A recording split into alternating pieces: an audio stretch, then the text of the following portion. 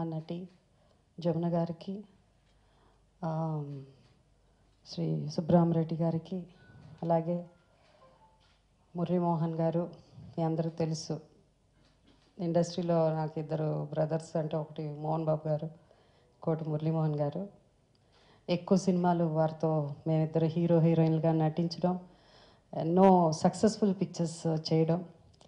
So వారికి అంటే వారు కూడా ఇవాళ రావడం నాకు చాలా సంతోషంగా ఉంది. జనరల్గా అవార్డ్స్ అనౌన్స్ చేసినప్పుడు ఎవరికి ఇస్తున్నాం అన్నప్పుడు అవార్డు అందుకునే వాళ్ళు రారు ఫంక్షన్కి. బట్ సుబ్రహ్మరెడ్డి గారు ఎప్పుడు కొంచెం ఆయన స్టైలే డిఫరెంట్ అనమాట కానీ ముఖ్యంగా ఇక్కడికి రావడానికి కారణం ఏంటంటే ఫంక్షన్ ఏమో విశాఖపట్నంలో జరుగుతుంది. మమ్మ మళ్ళీ మిమ్మల్ని అందరినీ కలుసుకోవడానికి ఉండదు కదా.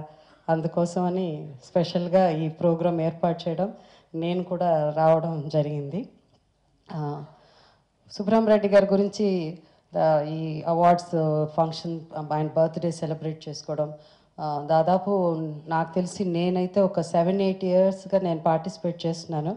ఆయన ఎవరు అవార్డు ఇచ్చినా మేమందరం వెళ్తాం. నేను కానీ జయ జయప్రద కానీ మురళీమోహన్ గారు కానీ మోహన్ బాబు గారు జమున గారు ఎప్పుడు సుబ్రహ్మరెడ్డి గారు జమున గారు లేనిదే ఫంక్షన్ చేయరైనా జమున గారు వారిశ్రీ గారు ఇలా అందరు ఆర్టిస్టులు రావడం అన్నది ఇంతమంది ఫస్ట్ ఏంటంటే ఆయనలో ఉన్న గొప్పతనం hats off to him because నిజంగా కళ అంటే కళాకారులు అంటే ఆయనకున్న అభిమానం. అది చాలా ఇంపార్టెంట్. ఎందుకు అభిమానం. ఎందుకంటే ఏదో పబ్లిసిటీ కోసం ప్రస్తుతం ఉన్న జనరేషన్నే పిలవడం కాదు. పాత వాళ్ళని మర్చిపోకుండా వాళ్ళని గౌరవించడం అన్నది చాలా ఇంపార్టెంట్. అది చాలా రోజుల నుంచి లేదు చాలా ఏళ్ళ నుంచి లేదు. కానీ సుబ్రహ్మరెడ్డి గారు ఫస్ట్ అందరికంటే ముందు పాత వాళ్ళు. అంటే సీనియర్ యాక్టర్స్ వాళ్ళే ముందు ఆయనకి. సో వాళ్ళనే ముందు ఇన్వైట్ చేస్తారు.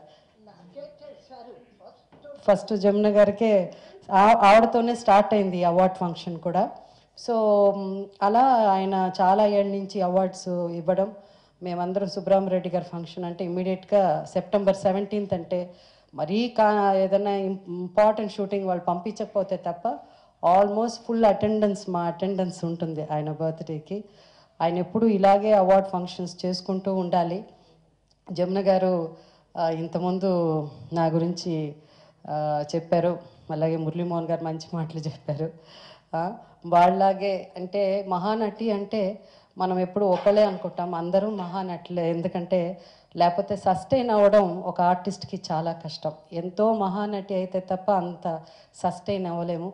అలా జమున గారి దగ్గర నుంచి నేను నేర్చుకుంది ఏంటంటే డిసిప్లిన్ డిసిప్లిన్ తర్వాత ఎప్పుడు ఆమెకి ప్రిన్సిపల్స్ ఉన్నాయి. వాటిని అది ఏ మాత్రం ఆ ప్రిన్సిపల్స్ని ఎప్పుడు ఆమె సాక్రిఫైస్ చేయకుండా వాటి జమున గారంటే నేను ఇలాగే ఉంటానని అలాగే ఉండి అలాగే సక్సెస్ఫుల్ అయ్యి ఇప్పటిదాకా మొన్న మన సోషల్ మీడియాలో కూడా వైరల్ అయితే ఎంతమంది హ్యాపీగా చూసారో అంత గొప్ప వ్యక్తి ఆమె ఆమె నోటి నుంచి ఆ మాట రావడం నాకు చాలా సంతోషంగా ఉంది. ఇక మురళీమోహన్ గారి గురించి చెప్పాలంటే కోర్స్ uh, ఆయన is a ever green hero ఆయన కలర్ వేసుకున్నా వేసుకోకపోయినా ఈజ్ ఆల్వేస్ యంగ్ అండ్ ఎందుకంటే ఏం చేస్తాం చూడండి నేను కూడా సుబ్రహ్మరెడ్డి గారు పొద్దున్న అడిగారు. నాకు కూడా ఎదుగో నేను కూడా కలర్ వేసుకోకుండా వచ్చాను. తప్పదు కొంతమందికి జీన్స్ ఏం జీన్స్ అన్నారు కానీ మా ఒక్కొక్కరి ఇంట్లో జీన్స్ ఏంటంటే ఇక్కడ చుట్టూ ఊడిపోవడం. సో కాబట్టి దాని ఎప్పుడు యంగ్గా హ్యాపీగా సుబ్రహ్మరెడ్డి గారు ఎప్పుడు యంగ్గా కనిపిస్తారు అనుకోండి అది ఆయనకి ఇచ్చిన అంటే దానికి కారణం కూడా I think it's a discipline ఈ డిసిప్లిన్ ఉంటే డెఫినెట్గా యోగా చేస్తారు ఆయన ఇలాంటివన్నీ ఉన్నాయి కాబట్టి ఆయన యంగ్గా సో మురళీమోహన్ గారు కూడా ఏది మిస్ చేసినా వాకింగ్ మాత్రం ఎట్టి పరిస్థితుల్లో వెళ్ళకుండా ఉండరు. సో ఆ సెల్ఫ్ డి డిసిప్లిన్ ఉన్నప్పుడు వీలైనంత వరకు మనం బాగా ఉండడానికి మెయింటైన్ చేయడానికి మనకి అవకాశం ఉంటుంది. సో థ్యాంక్ యూ సుబ్రహ్మరెడ్డి గారు. ఎందుకంటే మ్, సుబ్రహ్మరెడ్డి గారితో కూడా సోషల్ మీడియాలో ఈ మధ్య మీరు చూసుండొచ్చు. పాత ఫంక్షన్ ఒకటి వేశారు సినీ హెరాల్డ్ వాళ్ళది. సినీ హెరాల్డ్ ఫంక్షన్ వేస్తా ఉన్నా అప్పుడు కూడా సుబ్రహ్మరెడ్డి గారు అందరినీ కౌగిలించేసుకుని అంటే మేము అందరం అబ్బా అప్పటికి ఇప్పటికి ఏం మార్పు లేదు. అలాగే యంగ్గా ఉన్నారు. కొంచెం తేడా ఉంది. దట్స్ అఫ్ కోర్స్ చెప్పలేము అనుకోండి ఇట్స్ న్యాచురల్ బట్ అప్పుడు అందరినీ ఆహ్వానించడం అది. సో ఆ స్పిరిట్ ఇంకా అలాగే ఉంది. I think that's also because of the spiritual ఇది కూడా బ్యాలెన్స్ చేసుకుంటూ అన్ని బ్యాలెన్స్ చేసుకోవడం అన్నది లైఫ్లో వెరీ ఇంపార్టెంట్ అది చాలా బాగా అందుకే ముందు sixteenth blessings of God is more important కాబట్టి ఆ స్పిరిచువల్ దాంట్లో సిక్స్టీన్త్ ఆ ఫంక్షన్ పెట్టుకుని దాని తర్వాత కళాకారులకి ఇలా అవార్డ్స్ ఇవ్వడం అన్నది గొప్ప విషయం. అండ్ లైక్ మురళీమోహన్ గారు చెప్పినట్టు కళాకారుల్ని మాకు పెద్ద ఏంటంటే అవార్డ్స్ గురించి మాకు రాకపోతే అని అంటాం కానీ నిజంగా లోపల ఏంటంటే అవార్డు ఇస్తే చాలా సంతోషంగా ఉంటుంది. అంతకంటే ఇంత ఇన్నేళ్ళు కష్టపడి పనిచేసినప్పుడు అదేంటంటే ఒక మన ఇన్నేళ్ళు స- పనిచేసినందుకు ఒక గుర్తింపు అది కొన్ని అవార్డులు వచ్చినప్పుడు చాలా సంతోషంగా ఉంటుంది.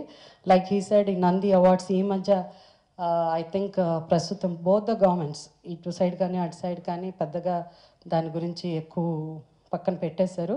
మొన్నదాకా ఈవెన్ తమిళనాడు గవర్నమెంట్ కలైమ కలైమామని ఇస్తున్నారు కలైమామని. సో అంటే అది totally it's not compare Nandi award కాదు అది ఇండివిజువల్స్కి ఇస్తారనమాట సో అది గవర్నమెంట్ ఇంకా చేస్తున్నారు వాళ్ళు they are doing it very well so I ఆయన చెప్పినట్టు I request both the governments Telangana as well as AP ఈ అవార్డ్స్ అంటే దాన్ని ఎలా మార్చుకోవాలో ఎలా చేసుకోవాలో they can take a call and but awards అన్నది ఇవ్వండి. ఎందుకంటే అది మన మీరే మమ్మల్ని గుర్తించకపోతే uh, ఎలా ఉంటుంది చెప్పండి.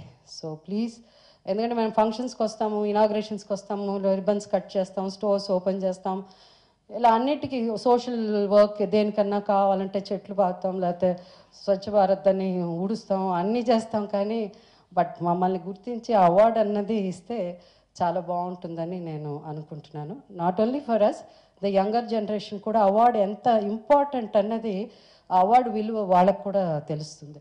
సో అది ఇవ్వాలని నేను కోరుకుంటూ ఎందుకంటే ఎవరు ఇచ్చినా ఇవ్వకపోయినా సుబ్రహ్మ రెడ్డి గారు మాత్రం ప్రతి సంవత్సరం ఆయన బర్త్డేకి ఇస్తూ ఉంటారు. So please continue and, and uh, do the good work. I wish you all the best. Thank you.